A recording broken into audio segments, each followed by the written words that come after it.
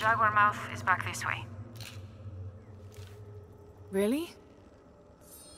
Yeah, cat sculpture, big teeth. Oh, here.